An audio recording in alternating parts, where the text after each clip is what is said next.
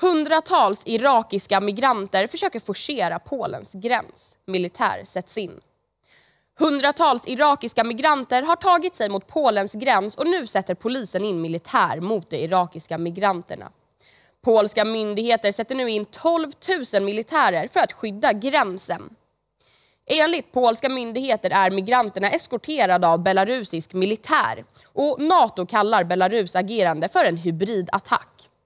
Belarusiska myndigheter bekräftar i ett uttalande att en större grupp migranter är på väg mot gränsen mot Polen. Enligt källor har de irakiska migranterna under dagen stormat gränsen och det är oroligt vid gränsen. Polens vice utrikesminister säger sig räkna med skottlossning under dagen. Klipp från den polska gränsen visar på oroligheter och migranterna har under dagen försökt riva stängslet men det har misslyckats. Migranterna befinner sig fortfarande på den belarusiska sidan av gränsen. Sedan flera månader har migranter från Mellanöstern lockats till Belarus med löften om att kunna ta sig in i EU och kanske Sverige som slutdestination.